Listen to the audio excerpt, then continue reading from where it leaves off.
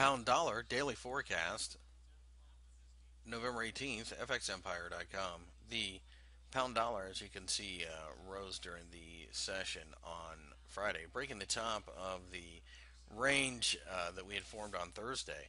It's a bullish sign, and as a result, we're long. We do like this pair. We think we eventually go to the 1.63 handle, and above there, if we can break above there, we really could take off to the 1.65 handle. On the other hand, pullbacks should offer buying opportunities. We think this is a larger consolidation area.